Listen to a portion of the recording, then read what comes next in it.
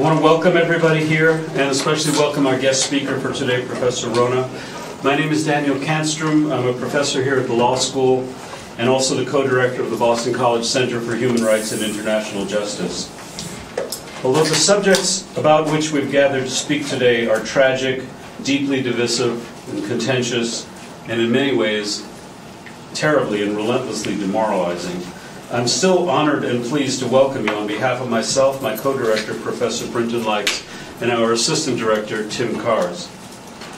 We've organized this event as a modest way to begin to talk in a particular frame about some very, very hard things. A major part of the basic mandate of our Center for Human Rights is to do just this, to confront the hardest issues of our times. And as our mission states statement puts it, quote, to nurture a new generation of scholars and practitioners in the United States and abroad who draw upon the strengths of many disciplines and the wisdom of rigorous ethical training in the attainment of human rights and international justice. Still, the intertwined issues of identity, autochthony, race, ethnicity, religion, gender, democracy, rights, law, and justice in the Israel Hamas and the Israel Palestine context have been among the most contentious and intractable problems I've confronted for so long as I've been alive. Personally, I've often found them too poignant, too personal, too complicated, and too painful to even discuss with friends, let alone in public. Since the horrible Hamas attacks of October 7th and the terrible civilian toll of subsequent military actions, many in our community have felt similarly fearful and reluctant to engage. Some have urged us not to proceed today as they fear a rise in anti Semitism, Islamophobia, divisiveness, and hate. Others have urged us to grapple more fundamentally with all of the deepest ultimate issues all at once. We're grateful for all these communications and we hope to continue respectful dialogue with everyone in our community. But we settled on what we thought was a thoughtful middle way today. Well, beginning actually some weeks ago, we offered a presentation by a distinguished scholar, Linda Dittmar, who had published what we thought was a very interesting personal memoir that grapples with many of these questions in a unique way. You can view that event on the website of the center as well. Our hope was to begin to spark and to support respectful, thoughtful, and open dialogue in our community. That program is now followed today by a law related one.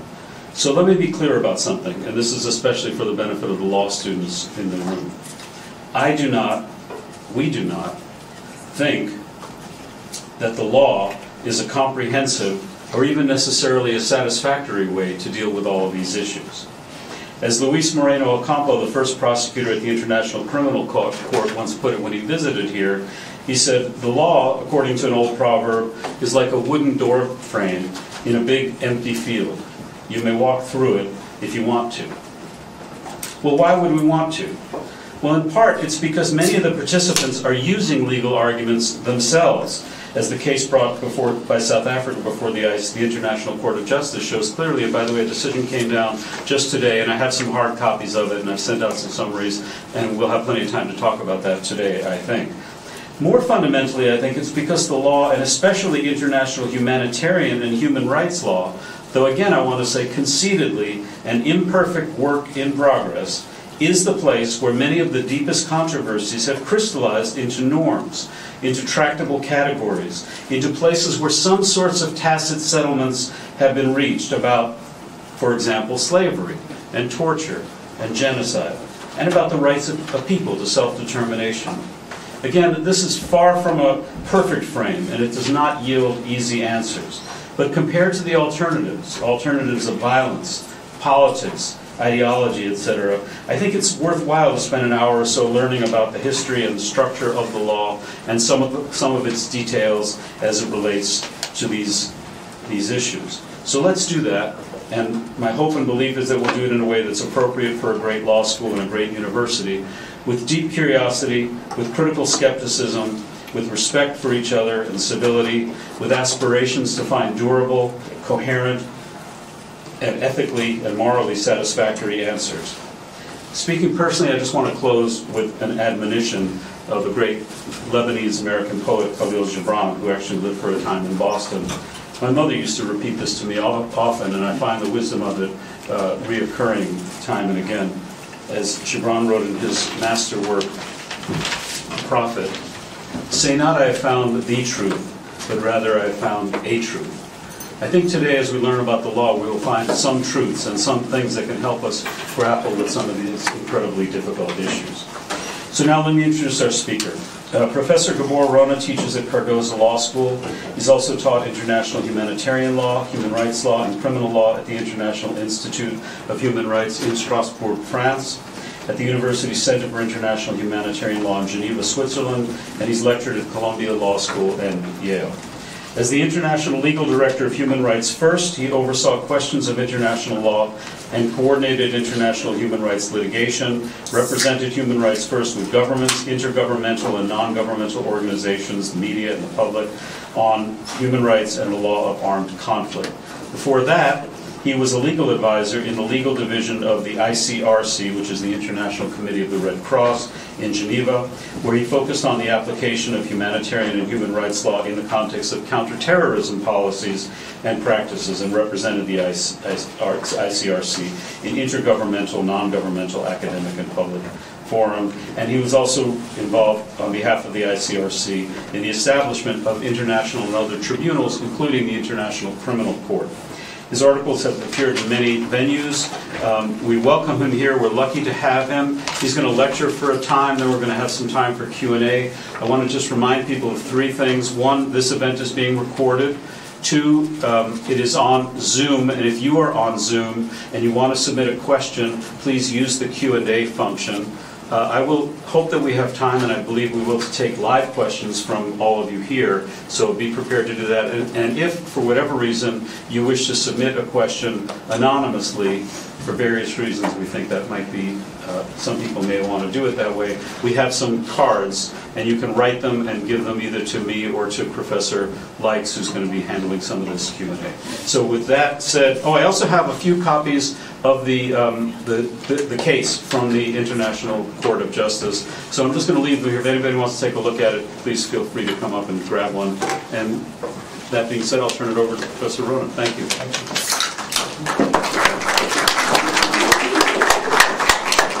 Thank you so much, Professor Kanstroom, and, and um, uh, great appreciation for the invitation and for all of you students and faculty um, who are here today. Before diving into law applicable to this particular conflict, and because so many people do have opinions with you know, varying degrees of knowledge about the utility of law in war, the efficacy of law in war. Um, I thought it useful to start with uh, some context, some framing, partly legal, uh, partly perhaps anthropological. And um, I start with the premise that what we call the customs of war have existed ever since humans organized into groups for thousands and thousands of years. On the other hand, the laws of war have only existed um, in the international legal sense since about the middle of the 19th century. I want to talk a little bit about um, the customs and the laws. As far as customs are concerned, I'm just curious, have, has anybody ever heard of the Yanomamo people? They're semi-nomadic hunter-gatherers um, that live in the Amazon. And um, the reason I want to talk about them for a minute um, is because of their conflict resolution traditions and methodologies. Um, they're semi-nomadic hunter-gatherers. They're semi-nomadic because there's, you know, there's no soil uh, worthy of agriculture in the Amazon, so that's, that's the, the means of subsistence. Uh, being semi-nomadic, uh, the, there's a kind of delicate balance concerning the numbers of individuals that can uh, be supported by and support one particular band of people, maybe around 30 or 40. If you get much less than that, um, you can't survive. If you try to get much more than that, you can't survive. And because they're semi-nomadic, the Yanomamo are constantly in motion. And so they bump into other bands of, of Yanomamo. And as a result of that, they have conflicts. They have conflicts over hunting territory. They have conflicts about uh, kidnapping women. The point that I want to raise concerning the Yanomamo is when they have these conflicts, how do they resolve them? Well, it just so happens that they do so in a very stylized way. Each band selects one individual to represent the band in a chest beating contest. And the two groups gather in a pre-designated space. It may be the space of one group or the other. And the two individuals who are assigned by their band uh, to engage in this chest beating contest meet in the middle, and they take turns bashing each other in the chest. The first person that falls down is the loser, and his band has lost the dispute. The relevance of this is partly that it reflects a methodology of dispute resolution that although it entails violence, it also entails limitations on the use of violence. This is useful for human organization purposes for a couple of reasons. You may feel very strongly about the rectitude of your cause in a, in a dispute, but not so strongly that you want to risk the very existence of your entire group. And that belief is critical and useful only if the other parties to the potential conflict share that view. So, on the one hand, there is the time honored sense that there is utility to limits in how conflict is undertaken. Second, depending on whether or not that view is shared by other potential parties to a conflict, you can establish a regime. You can establish some rules. This requirement of at least an expectation of reciprocity on the part of your group and the other group, and the decision that you will distinguish between who is to be fighting and who is to be excluded from fighting are essential to the notions of limiting the humanitarian ill effects of conflict. And people do this because it serves their survival purposes. Not necessarily, be, excuse me, not necessarily because they are concerned um, about humanitarian interests, but there is mutual survival at stake. And that's why these um, customs have existed for such a long time, as I say, since time immemorial. Now, on the other hand, let me talk a little bit about the context of international law that embodies some of these concerns and principles. If you were to uh, condense all of human experience, or at least the experience of Homo sapiens, into 24 hours, the laws of war would have showed up about 30 seconds ago. The international laws of war would have showed up about 30 seconds ago. The international laws and mechanisms creating accountability for violations of those laws would have showed up about 15 seconds ago. So when you are thinking about the rectitude and the validity and the utility of laws of armed conflict, consider how long the customs of war have been around, what purposes they serve us, but on the other hand, recognize that as a matter of international legal organization, we've only come around to codifying these things in international law and then establishing the mechanisms to hold violators accountable in the last 30 seconds of human civilization if you were to truncate the whole thing to 24 hours.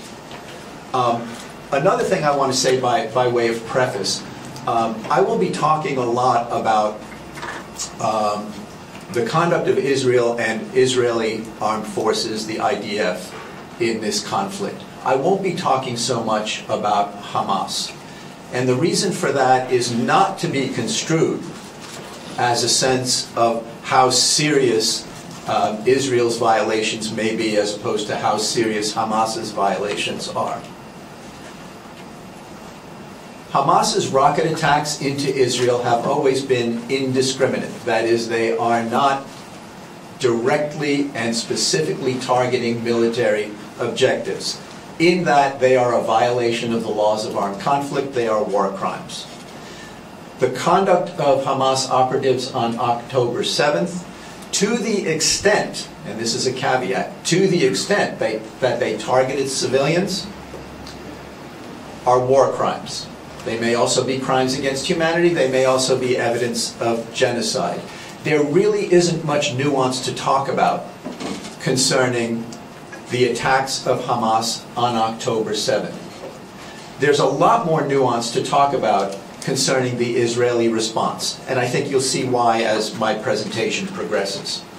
I want to talk about um, five areas of international law, and I'll spend a lot more time on some of them than others.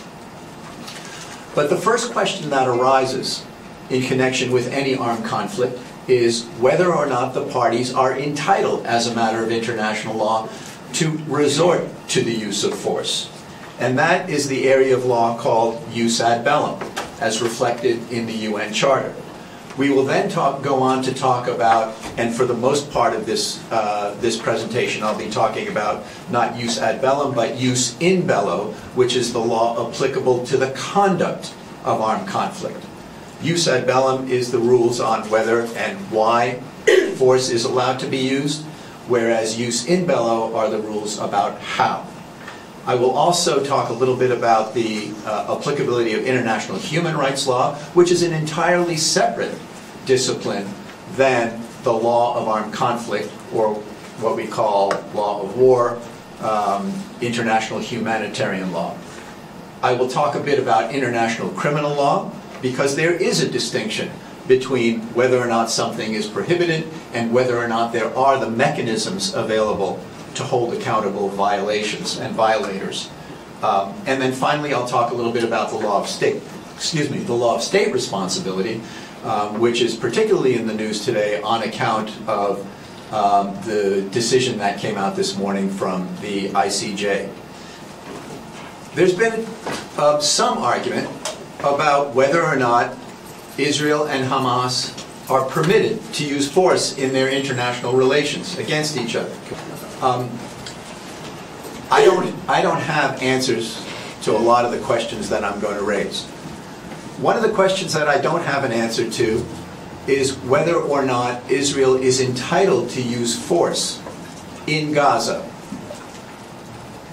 My opinion is yes, Israel does.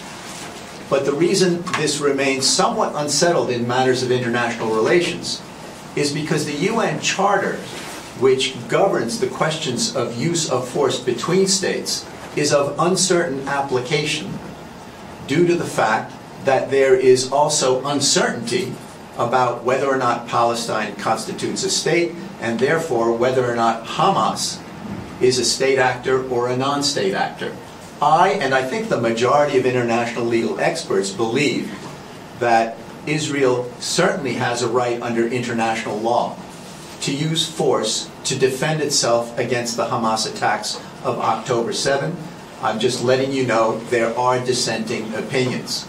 The reason I think I'm right and I, and I think others are wrong is because although the UN Charter controls the right to use force among and between states, that doesn't mean that states don't have a right to use force against non-state actors.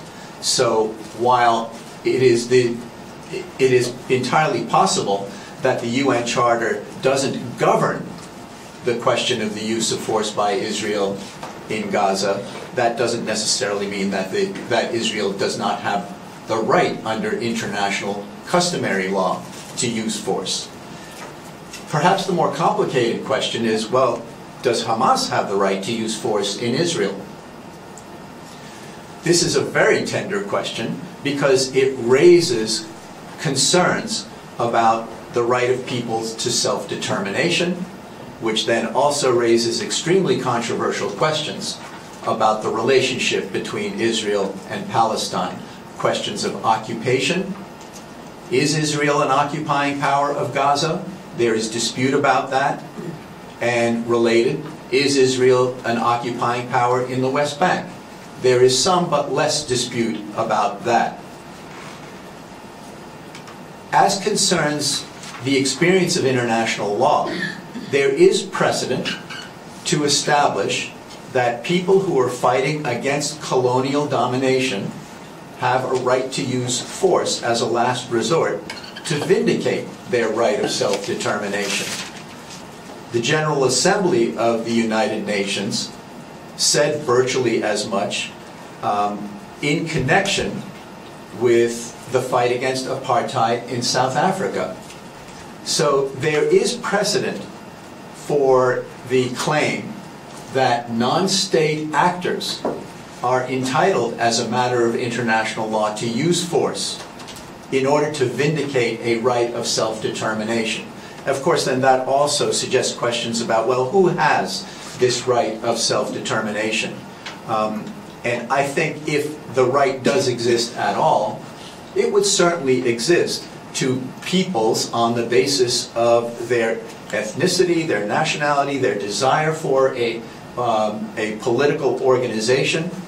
And I think a legitimate question can, uh, is raised about whether or not Palestinians have a right to self-determination as against Israel, and a question of whether or not force is entitled to be used to vindicate that right um, as a last resort.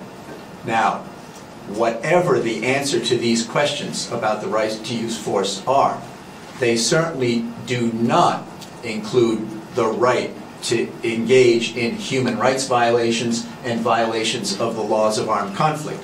That's why we have a separation between jus ad bellum and jus in bello. Jus ad bellum says, do you have a right to use force? You, even if the answer is yes, you still have an obligation to follow and comply with the laws of armed conflict and with human rights law rules. Do not confuse the topic of jus ad bellum, the questions in the UN Charter concerning whether or not states have the right to use force against each other in their international relations with what is called just war theory. One is law, the other is philosophy and morals. For example, the UN Charter does not enter into debate about whether or not there is a, um, a reasonable hope of success in the use of force. It does not even enter into a debate about whether or not the use of force is necessarily a last resort. So some of the elements of what is called just war theory, as a matter of philosophy and morals, um, are not necessarily aligned with the rules of international law as reflected in the UN Charter about the right to resort to force. Now let's get to the meat of it.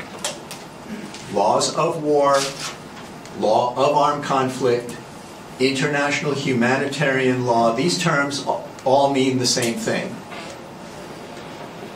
We don't talk so much about law of war anymore because there was a time when the question of whether or not war was declared was significant in determining the application of the law of war. In international experience, um, we've, I think, brought a level of greater humanity to the application of law in war by recognizing that the effects of war on both combatants and civilians don't depend on whether or not someone did or didn't declare war. They depend on the facts on the ground. And so modern international humanitarian law doesn't talk so much about laws of war because of the association from past experience with the question of calling something war and the, the no longer significant importance of declaring war. So we talk about law of armed conflict or international humanitarian law instead. These laws are reflected in a number of sources. First and foremost, the Geneva Conventions of 1949, to which all countries are a party, and to the two additional protocols to the Geneva Conventions that were promulgated in 1977, to which many countries are party. These rules are also reflected in numerous arms treaties concerning biological weapons, chemical weapons, uh, landmines, the use of blinding laser weapons, uh, the use of uh, fragments not detectable on X-ray, the use of uh, exploding bullets above or, or below 400 grams, as one treaty from more than 150 years ago discusses, the St. Petersburg Declaration. Um, what this leads us to conclude is that there are, in fact, two realms of the law of armed conflict to be concerned with. One realm concerns the very conduct of hostilities. That is, what are the means and methods of, of conflict that are permissible and which ones obviously are not permissible. The other leg of the law of armed conflict are the rules for the protection of those who are exempt from hostilities. Those who, in the French phrase, are hors de combat, H O R S, meaning outside of. The Geneva Conventions contain the provisions on the protection of persons outside of combat. These are, are include civilians, and so this includes the law of occupation, but it also includes combatants who, for one reason or other, are hors de combat. That would be prisoners of war. It would also be those uh, combatants who are uh, fallen in the field, shipwrecked at sea, um, the dead, as well as the injured. The law of armed conflict has recognized these two separate realms of international law. One that came up through uh, treaties negotiated in Geneva, the Geneva Conventions. Others, the conduct of hostilities rules, that grew up through negotiation of treaties rather in The Hague, and those, so those were called Hague rules. But this distinction isn't so much so important anymore because in the 1977 additional protocols to the Geneva Conventions, which I mentioned before, um, both Geneva rules and Hague rules um, are, are brought together. I do think, however, it is still important for students of IHL and practitioners of IHL and militaries to understand that there are two separate categories of concern. It is not only the concern for the protection of those who are exempt from hostilities, it is also the concern for uh, maintaining limits to how war is fought against even those who are subject to hostilities.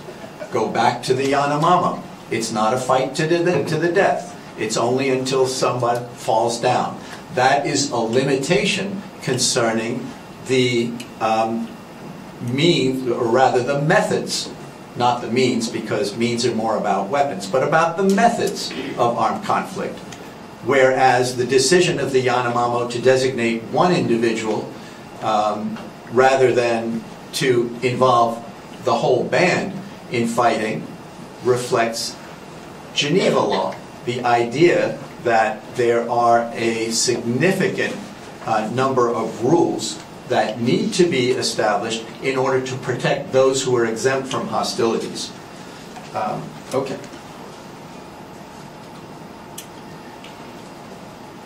The most important principles of the law of armed conflict are distinction, proportionality, precaution, and the concept of military necessity. If you read The Social Contract by Jean-Jacques Rousseau, uh, 250 years ago, you will know that Rousseau, among other things, said that the only legitimate purpose for attacking your enemy is to disable him from being able to attack you. I'm, of course, paraphrasing. Once your enemy is disabled, he is no longer the enemy. recall Yanomamo. What that means is that there's a concept of determining what is targetable on the basis of whether or not it is militarily necessary. Military necessity limits attacks to military objectives. And note here in the definition of military necessity and military objectives, as concerns objects, there are two cumulative requirements. They have to be objects that make a contribution to the enemy's military action, but that's not enough. It also has to be determined that their destruction offers you a military advantage. Now you know what military objectives are and what the concept of military necessity entails. You're ready to consider these other um, principles. Distinction. Again, the Yanomamo.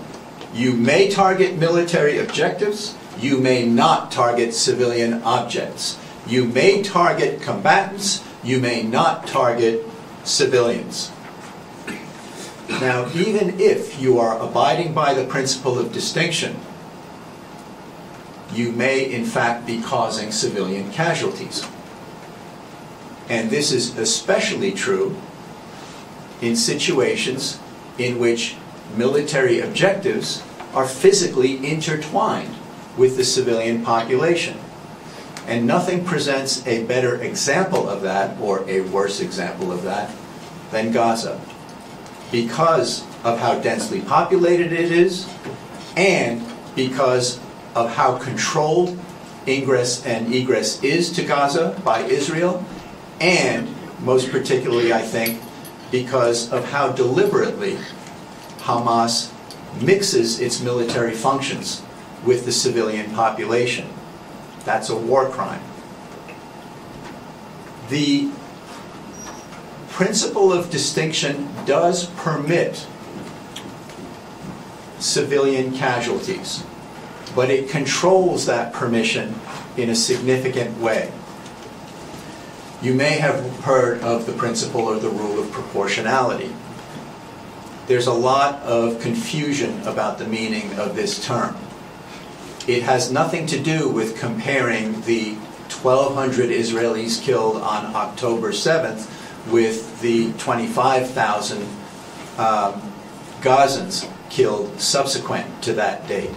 Rather, it has to do with a comparison of the military advantage gained by any particular attack as opposed to the civilian harm caused by that attack. If an attack against a legitimate military objective is anticipated, and the word anticipated is important here because we don't engage in Monday morning quarterbacking. We rely on what reasonable, what information is reasonably available to a reasonable commander at the time that the targeting decision is made. And if at that time a legitimate military objective is identified, but it is determined that the civilian harm that would result from that attack exceeds the military value of killing those combatants or destroying those, um, those military objectives, then the attack may not proceed. And if attacks that are clearly disproportionate are, uh, are made, then that is a war crime as defined by the International Criminal Court. Now, even if you are good with your principle of distinction and principle of proportionality requirements, you are not done protecting civilians. There's also a principle of precaution. Even if you've determined that your attack will not be disproportionate, if there are still reasonably available methods to minimize civilian harm, then you have the obligation to undertake those efforts. They may be issuing warnings that an attack is about to ensue. They may be making a decision that, well, maybe we can use a smaller bomb rather than a larger bomb to take out this military objective. and thereby risk fewer civilian casualties. We may decide, well, we could conduct this attack at daytime instead of nighttime, or nighttime instead of daytime, depending on whether that would change the um, likely calculus of civilian harm. Um, Israel has, prior to launching its attack in Gaza, um, it did issue a warning telling Gazans to clear northern Gaza. It did so uh, in a way that is consistent with its obligations to issue precautions. However, I believe, and I think others believe, that if you're telling a civilian population to evacuate an entire half of their territory, what in effect you are saying is that that entire half of the territory is a military objective. That cannot be so. While there may have been good intentions to protect the civilian population in issuing that directive, I do think it is flawed in the sense that a military objective has to be specifically identified. It cannot be all of your territory or half of your territory. And I think this is particularly problematic in light of the fact that South Gaza also continued to be subject to attack and that, again, um, egress from Gaza is virtually impossible for Gazans as a consequence largely of the, the restrictions placed on the territory by Israel. Um, you now know what the fundamental principles are of IHL. These have to be taken into account. They have to be determined. A responsible military um, has legal advisors at the ready at all levels of armed conflict to give advice to the commander on these determinations. But the decision, of course, is usually um, finally that of the commander and not the lawyers. Um, questions have been raised about the applicability of these rules in light of the fact of asymmetric warfare. One side has greatly greater um, potential to cause harm than the other. Remember the Yanomamo. Each side agrees to the limitations because the other side agrees to the limitations. The concept of reciprocity is essential to the ability of international humanitarian law to do its work. The fact of asymmetry between parties to armed conflict does not affect the equality of the parties to the conflict under law. It may affect their ability to conduct hostilities. It may affect the likelihood of success on their part. It does not and cannot affect the question of whether or not each party is or isn't in, uh, obligated to, uh, to play by the same rules. When there are violations, not all violations of the laws of war are war crimes. If you look into your Geneva Conventions, if you take a look at the Convention on the Protection of Prisoners of War, that's the third Geneva Convention, uh, you may note that a detaining authority is obligated to provide prisoners of war with musical instruments. A party that fails to do so is in violation of their IHL, International Humanitarian Law, obligations. Is that a war crime? I'm not aware of any state, I'm not aware of any international tribunal that lists the failure to provide musical instruments to POWs as a war crime. Not all violations of IHL are war crimes. Which ones are? Well, those that are codified as having criminal consequences in either domestic law or in the law that pertains, uh, that, that establishes international tribunals, such as the International Criminal Court. And the Geneva Conventions does list violations that must be, that must be implemented into national law with criminal consequences for violations. These are called grave breaches. They include murder, they include torture, a number of other things. Um, likewise, the International Criminal Court statute maintains a list of conduct and activities that constitute war crimes. Other violations of the laws of war will not be war, war crimes, will not trigger criminal responsibility. Again, unless there's a codification or at least a, um, a customary norm that states follow that traditionally these violations have been understood to trigger criminal responsibility. Okay, um, how are we doing? Here are some war crimes. I'm not going to go through all of them, um, but I'll give you a moment to just take a look and think about whether they trigger any questions um, for you about their application. I'll, I'll make a couple of comments. Um, because of the rule of distinction, indiscriminate attacks are prohibited. An indiscriminate attack is not one that necessarily targets civilians. It's one that you shoot off without any regard to who will be at the receiving end. It may be combatants, it may be military objectives, it may be civilians, it may be civilian objects. That kind of attack is prohibited. And um, it does constitute a war crime, again, under uh, many domestic law regimes as well as the International Criminal Court.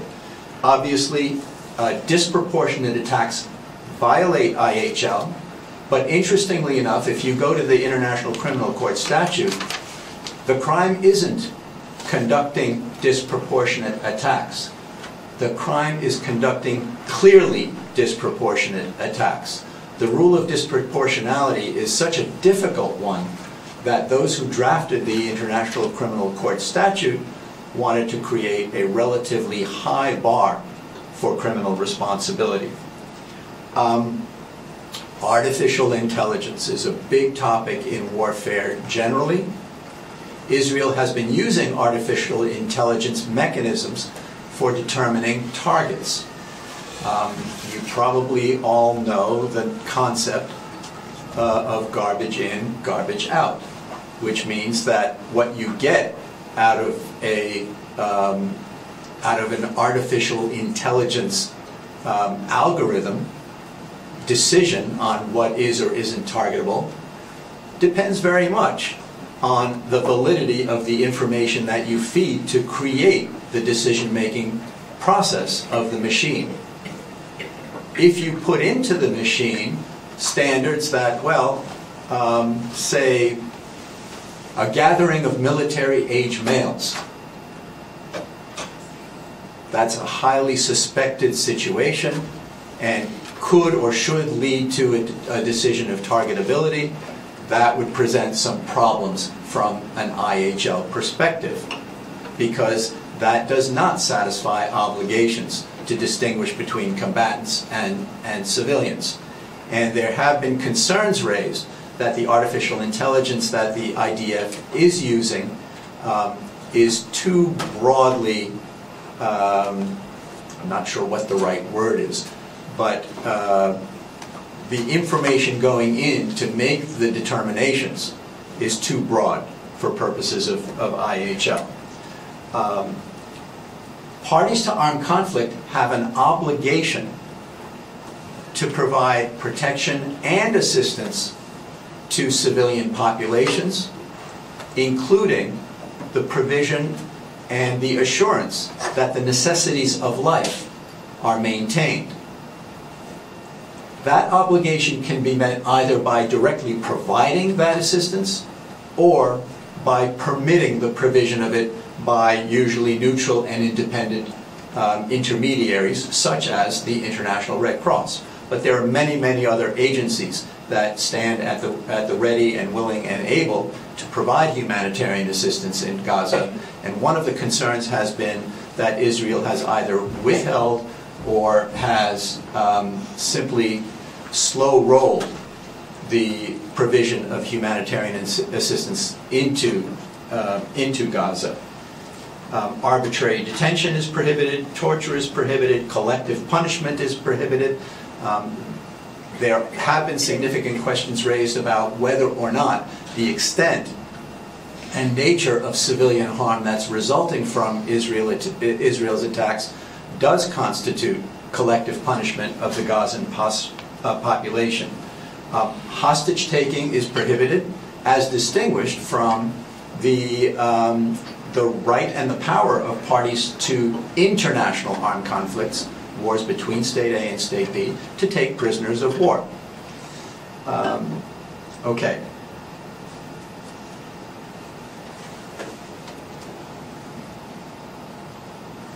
I want to talk a little bit about what IHL does permit. Obviously, it, it permits hostilities in accordance with the limitations and the principles I've described before. It permits the occupation of enemy territory in accordance with rules that pro provide for obligations on the part of the occupying power and rights of those in occupied territory. Obviously, it permits the targeting of enemy fighters and combatants at all times while it prohibits the targeting of civilians and civilian objects, the law of war also recognizes that from time to time civilians do participate in hostilities. And this is particularly true in connection with armed conflicts in which the principal actors are non-state in nature. So IHL recognizes that even civilians may be subject to targeting while they directly participate in hostilities. And in addition, there is the concern, well, a civilian could be a, um, a farmer by day and a terrorist by night.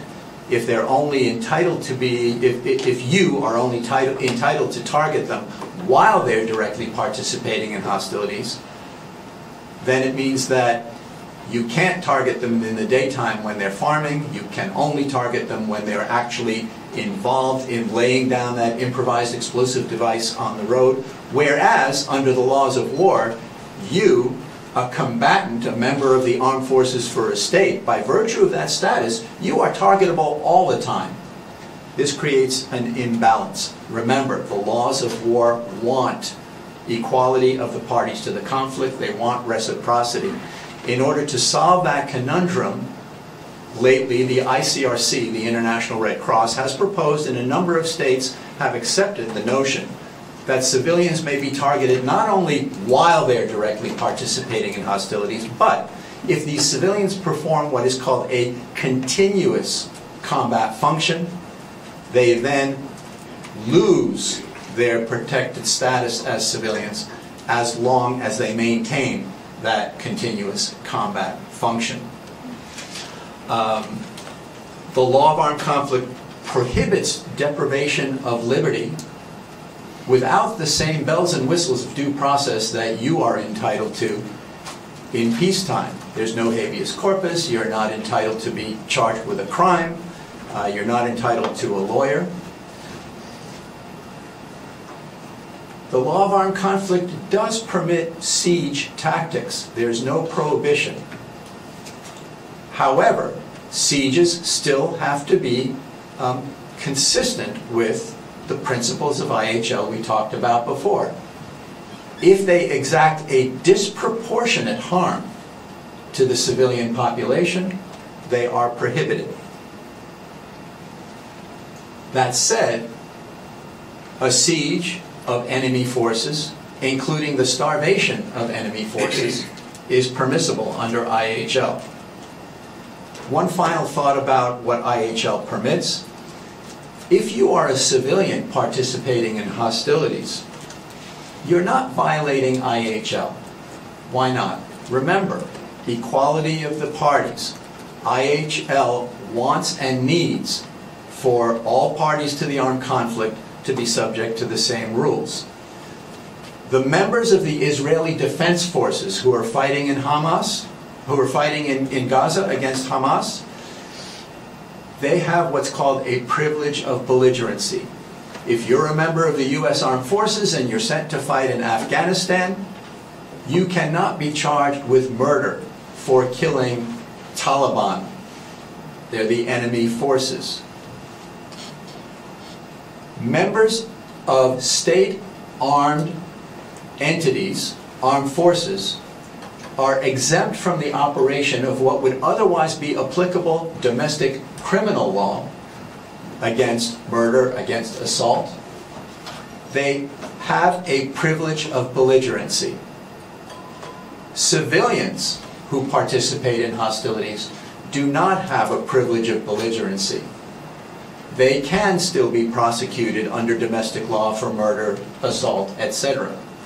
But because IHL wants parties to the conflict to be equal, since IHL recognizes a privilege of belligerency for combatants that are members of the state armed forces, IHL also does not prohibit civilian participation in hostilities. Be clear though, domestic law may punish it, but IHL does not prohibit it. These are important aspects to be taken into account, again, especially when you have a, a non-international armed conflict, that is, one between a state and a non-state armed group. What about international human rights law? There's controversy in, under international law about whether or not human rights law even applies in armed conflict situations. Why is this important? Well, you've just seen that in armed conflict situations, killing is lawful, deprivation of liberty is lawful, whereas in peacetime, there's no legality to killing people on the basis of their status. In war, you can kill because somebody is an enemy combatant. In other words, not because of what they are doing, but because of who they are. In peacetime, a police officer can't use deadly force against you because of who you are, at least not as a matter of law. Whether or not a police officer can use force against you depends on what you are doing. It's your conduct rather than your status. And this difference between status-based authority to kill under IHL versus con only conduct-based authority to use deadly force under human rights law makes the question of whether or not human rights law applies in armed conflict situations an important one the majority of the international legal community and the International Court of Justice and other authorities have determined that human rights law continues to apply in armed conflict situations. However, to the extent that the law of armed conflict, which is the more specialized law that's applicable, has a different rule than human rights law, the IHL rule will prevail. In other words, as to matters that are not addressed by IHL, human rights law continues to apply. There are a couple of states that don't buy into the concept that human rights law continues to apply in armed conflict. One of them is Israel. Another is the United States. Another concern about the applicability of human rights law in armed conflict situations concerns the question of extraterritoriality. States generally are understood by virtue of human rights treaties to take up obligations in relationship to their own territory, their citizens, people on their soil.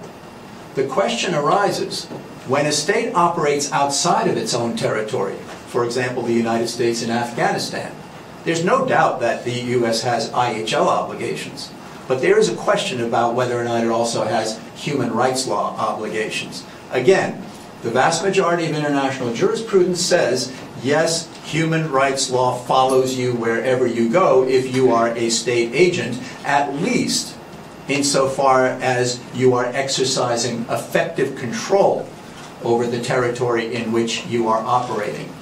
And once again, Israel and the United States demur. Um, Before we get into the Genocide Convention and the ICJ, um, I'm not going to talk about speech on, on college campuses. I think we just don't have time, and it's a little bit too extraneous. Um, But I do want to talk about, um, you know, we've talked a little bit about war crimes. There's a lot of concern now about genocide because of the ICJ case. Um, There's something else that's an equally important part of the conversation of violations and accountability, and that is the notion of crimes against humanity. There is a potential not only for war crimes and genocide uh, to be of concern in this conflict, but also crimes against humanity. And so it's important to understand um, what the difference is between war crimes, crimes against humanity, and genocide. Well, war crimes, simply enough, occur in armed conflict, and only in armed conflict. You can't have war crimes outside of war. Crimes against humanity or genocide, on the other hand, while you typically associate them with armed conflict, can occur outside of armed conflict. Um, for example, uh, it is far from agreed, again, by international scholars or international courts, that there was an armed conflict in Rwanda when the genocide occurred. However, it is entirely clear that a genocide occurred. Crimes against humanity and genocide are capable of being committed outside of the context of armed conflict. Genocide is a form of crime against humanity. Both crimes against humanity and genocide require a deliberate attack on a civilian population that is motivated by animosity against that civilian population on account of who they are their nationality, their religion, their race, their ethnicity. Crimes against humanity are a number of um, aspects of conduct that can be undertaken. It can be killing, it can be forcible displacement, it can be persecution, that's kind of a catch-all term. Whereas genocide is a very specific form of a crime against humanity which requires the establishment of evidence of a specific intent on the part of the actor to destroy that civilian population, in whole or in part. Crimes against humanity as a whole do not require proof of an intent to destroy. They may be motivated by a desire to destroy certain elements of a population, they may be motivated by a desire to ethnically cleanse a population, to otherwise persecute a population, but they do not rise to the level of intending to destroy that population. That's the specific and exclusive reason why the law of genocide exists. Um, okay. As to violations,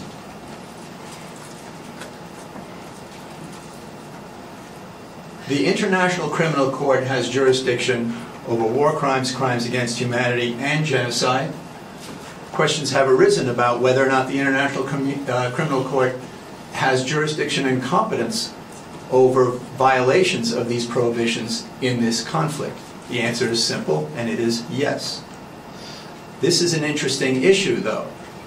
Um, as you may know, the United States has been a vocal opponent for quite some time of the International Criminal Court, whereas uh, sometimes it has also preached and engaged in cooperation with the court. There's been a bit of schizophrenia in the United States of, about the ICC.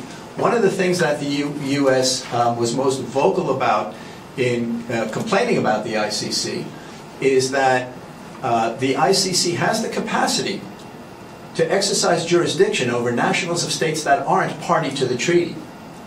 That happens when you, a national of a state that's not party to the treaty, commit your crime on the territory of a state that's party to the treaty. The ICC can exercise jurisdiction against either nationals of states that are party to the treaty or anyone who commits their crime on the territory of a party to the ICC. This is of particular concern for a country that happens to have a fairly expansive presence, military presence, in a number of countries around the world.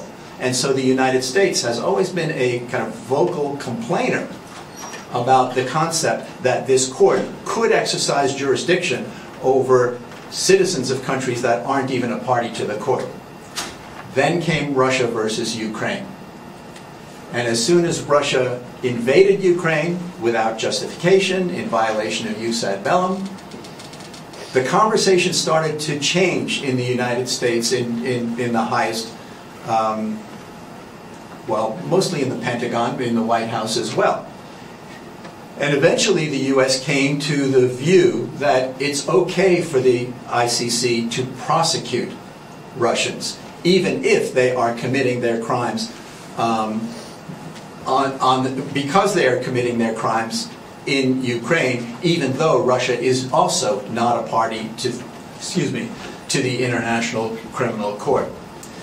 So, while the jurisdiction of the ICC remains controversial, the fact is that even though Israel is not a party, Palestine is. And because Palestine is a party, it means that the ICC can exercise jurisdiction over violations that are committed by Palestinians on Israeli soil and also by Israelis on Palestinian soil. Um, there are other potential mechanisms of accountability. As you may know, the UN Security Council has a track record of creating tri criminal tribunals uh, under uh, its authority under the UN Charter. Chapter 7 says that the Security Council has the power and the responsibility for the maintenance of international peace and security. Pursuant to that power, this, the Security Council has established criminal tribunals in connection with the, uh, the, the, armed conflict in the former Yugoslavia in the 1990s and the genocide in Rwanda. The UN General Assembly also has some power to create tribunals, but this would have to be with the consent of the countries in question. And it has done so, for example, in connection um, with the genocide in Cambodia. There are UN commissions of inquiry that have been established, uh, methodologies to, to preserve, to collect and preserve evidence. Um, there are the mechanisms of the UN Human Rights Council, what's called its special procedures systems that I don't really have time to talk about. But perhaps most important, and sometimes neglected, are not the international mechanisms, but the domestic ones. International law is a weak methodology for accountability because, after all, states are sovereign. States decide what they um, allow to be uh, subject to, for the most part, on an international level. And states decide how much to fund international mechanisms for accountability. Um, the International Criminal Court, I think, has something like 15 judges. I'm, I'm not, I'm not even sure what it is right now. Um, how many judges are there in Boston? Hundreds, right? Hundreds. Even in this room. In this room, there are hundreds. There are more judges than in the ICC. Um, the international mechanisms that have been established simply do not have the capacity.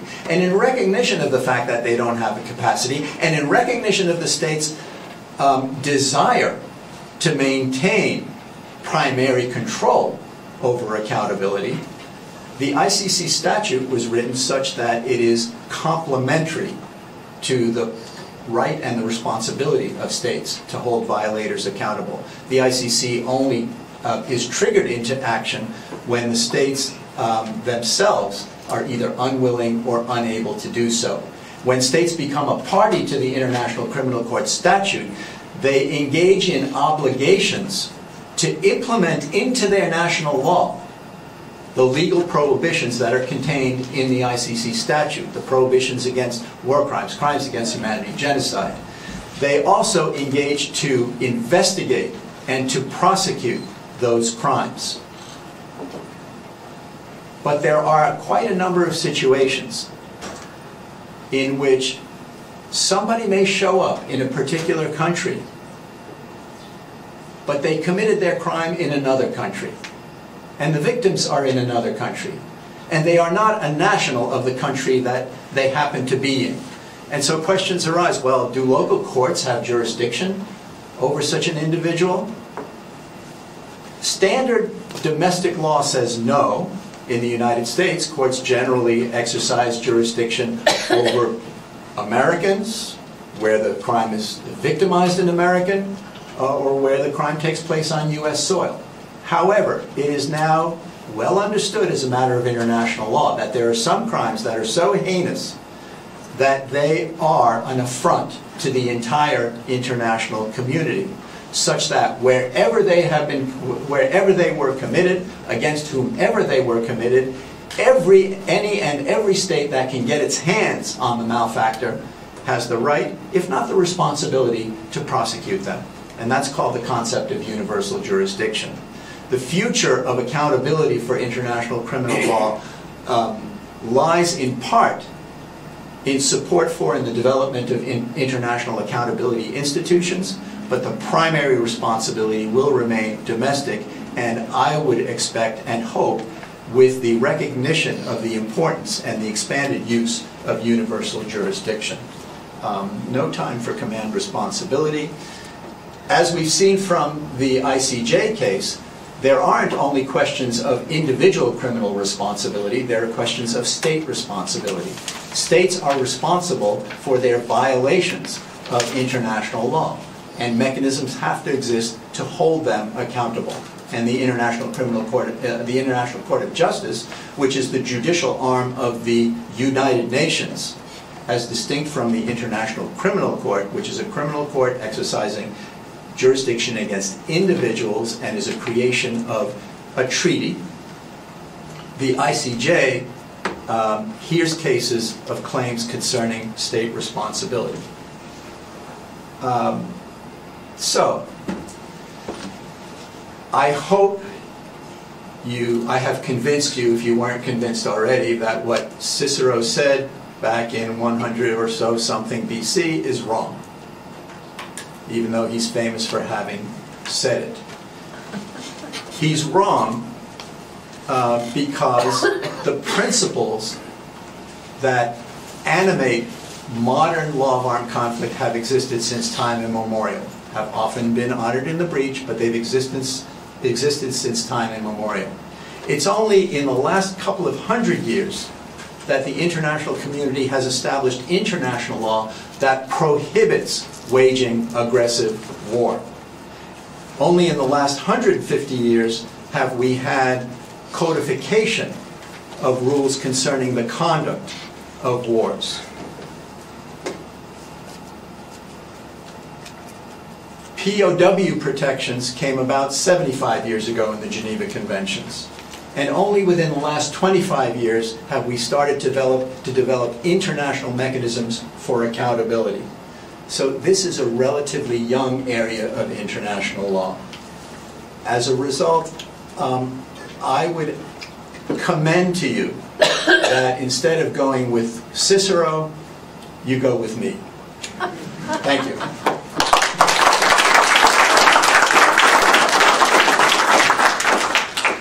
All right, thank you very much. We do have some time for questions. Question, there's one, yes, please? Um, okay, well, I would just like to know, like, in terms of international law, like, what would be the proper way of addressing, you know, a situation where one state has been implementing a regime of apartheid, like, you know, the past 75 years, and it seems like the international law hasn't really done much to address or resolve that situation. You know, let me start with um, the genocide case in front of the, the ICJ. Um, you know that it was brought by South Africa.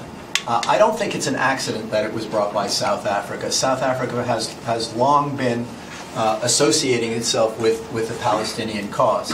But another reason that South Africa is a poignant claimant here is because South Africa has also um, regularly, frequently, and loudly complained that international justice um, seems to be skewed against weak, the weaker states.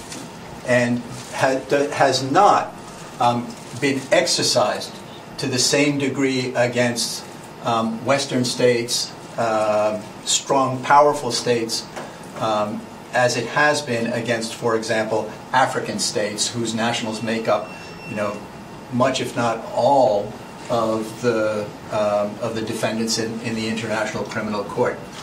Um, I think that this is a particularly poignant moment for international law because Israel represents, um, I don't know which metaphor you prefer, the soft underbelly or the canary in the coal mine um, concerning the future of international legal accountability. Um, Israel is a Western state, but decidedly in a non-Western neighborhood. There are significant aspects of, um, of Israel's presence in history that sound and look a lot like colonialism, but colonialism actually went out of style close to you know 75 years ago, and so um, this I think is potentially a turning point for um, questions about the the equality with which international law is to be applied.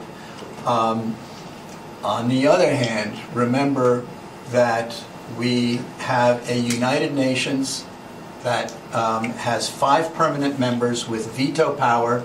The, um, the identity of those five members is determined by the fact, you may call it accident, of who won World War II. Um, it excludes a number of countries with greatly larger populations than those, those five members. And so there's a lot to be uh, said in support of the notion that the Security Council is an anachronism today. However, the Security Council um, exercises a very significant amount of authority about whether or not international justice does get to be meted out um, on, on an equal basis. Um, I happen to think that, on the one hand, um, the Israel case now before the ICJ represents an opportunity to turn the corner from the inequality of historic application of international law, but I don't think that's going to get very far and unless and until there's also serious talk of reforming the UN system and the Security Council, about which I am pretty damn pessimistic. Yes, Tom? Oh, let's wait for a mic, sorry, I didn't say that before. Let me have some written questions too. Um, Thank you so much, Professor Rona, for being here um, and speaking with us so clearly about um, this conflict. Um, My question is, uh, we've seen the United States aiding um, Israel in this conflict um, and aiding in acts that have made- uh, led to major allegations of humanitarian rights violations. We saw Biden acknowledging indiscriminate bombing and then the continuing aiding of military weapons to Israel. So I'm curious about um, humanitarian law and how it governs third-party participation, and if you expect to see the U.S. held accountable for these acts. Um, international humanitarian law does not have much to say about aiding and abetting other parties to armed conflict per se.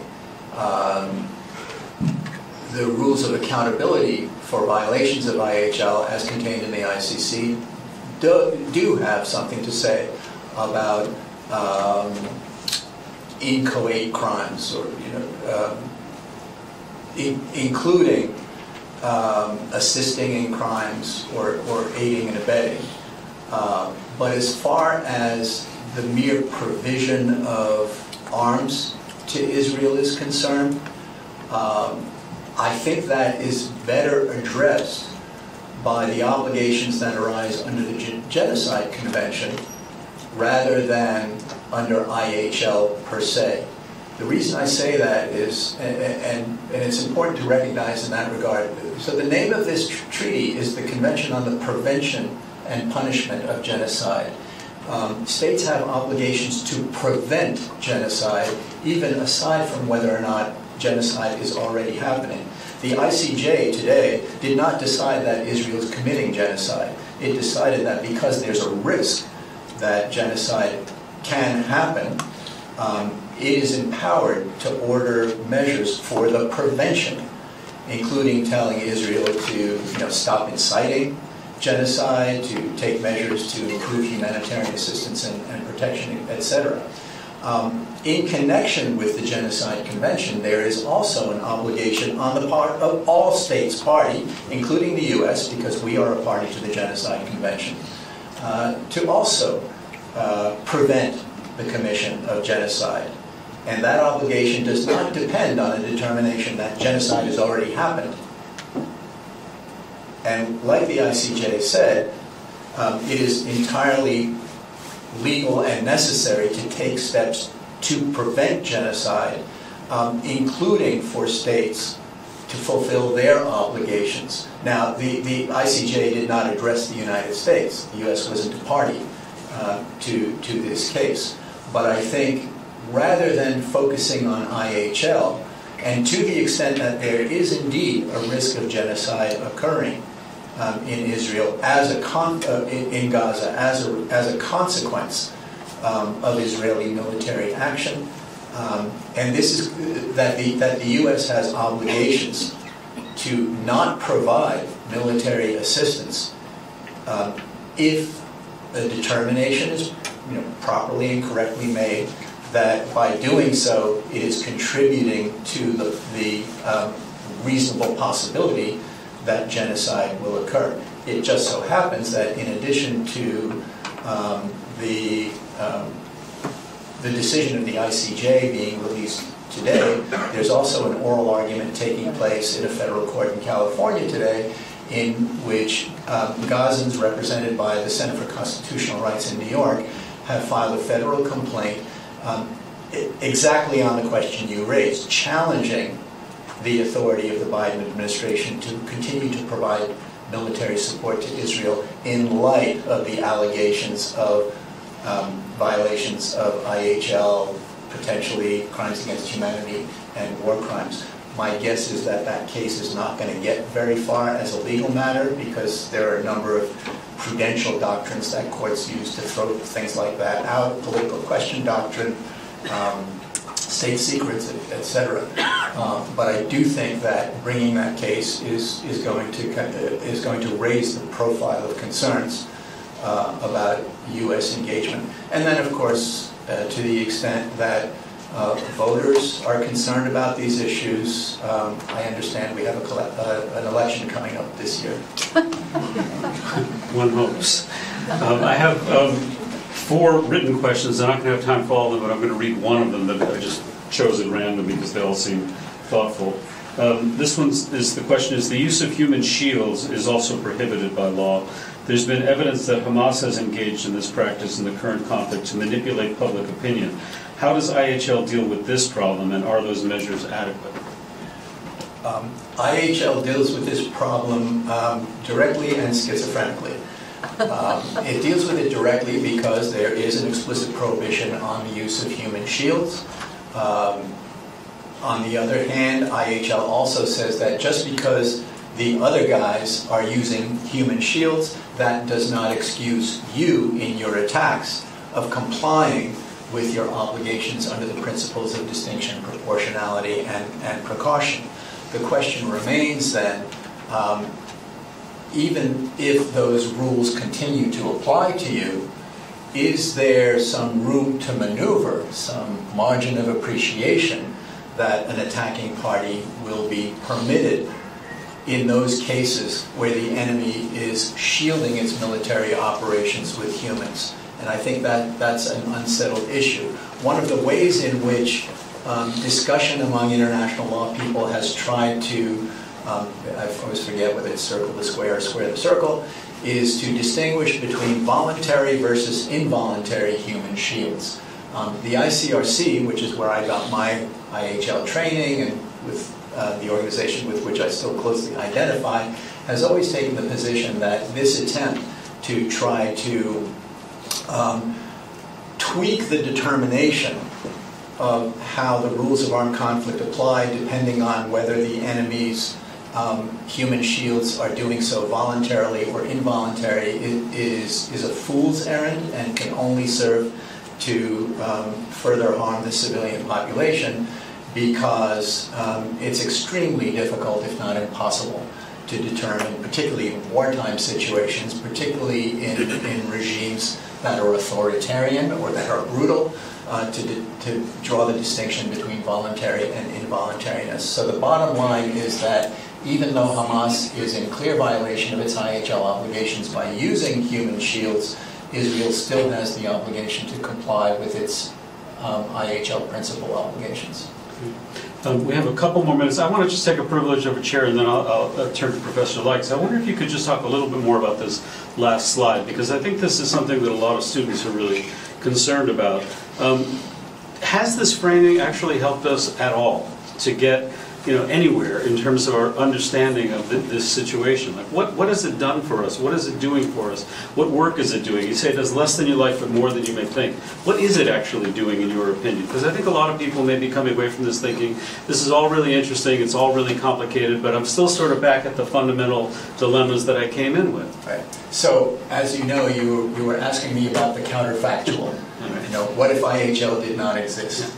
Um, and um, I don't even know if anybody's done empirical studies on, uh, or if it's possible to do empirical studies on what would happen if IHL um, didn't didn't exist. Um, I, can answer this more by anecdote, and, and simply this is an admission that I don't know, I don't really know the answer to the question. Um, but by anecdote, uh, when I was working at the ICRC, um, and occasionally I was called into the president's office, and he had a he had a, um, a plaque uh, on the wall behind his desk, um, which was given to him by Nelson Mandela. And um, what the plaque said that was that um, the, the value of the ICRC and of humanitarian law is not so much in what it does with its presence, but in preventing what would have happened in its absence. Um, so here's someone with learned experience um, of, about how the existence of IHL and the existence of institutions like the ICRC, and I'm going to take one step further, institutions of accountability like the International Criminal Court, um, serve to create protections that simply otherwise wouldn't be available. Um, one other anecdote: I, uh, when I was in the in, in the DRC, in Congo, and, uh, for the ICRC, traveling to some extremely, re- I mean, this is a country that has been uh, the the victim of so many different wars um, over a long period of time, and we traveled to some pretty remote places. Um, one interesting thing that, that happened, though, was that um, in our interactions with armed groups, some of them extremely brutal ones, um, we all of a sudden, and this was in, in the early 2000s, uh, shortly after the ICC came into existence, started to get questions about this thing, this ICC thing. Um, fighters were really were aware that it exists and were really concerned. They were never concerned that they would be held to account by their own legal mechanisms in their own countries. They, you know, those didn't exist or they had no concern or faith in them. But all of a sudden, they were knowledgeable of and interested and worried about this thing called the International Criminal Court. Yeah. Well, as Judge Weiner knows, it can get pretty cold in The Hague. You're, you're a defendant. Um, All right, Professor The Lex, last, last question, and then we're going to. Well, I think the time is up. I will Go ahead. Oh, all right, we'll follow. I'll address so- my last question to you afterwards. Okay, and I I do want to say to people, uh, Professor uh, Rona has been very um, generous in that we're going to have a follow-up session in my class, which is at 3 o'clock. It's a 1L elective class. I've invited a number of faculty to participate in that. So if you're really interested in this subject in a more granular, nuanced, and technical way even than this, you're welcome to join us. It's at 3 o'clock in room 411, and it'll be a more open-ended, free-flowing, more specific conversation. So feel free to come. You're all invited if you want to do that. But for now, let let me express my great gratitude.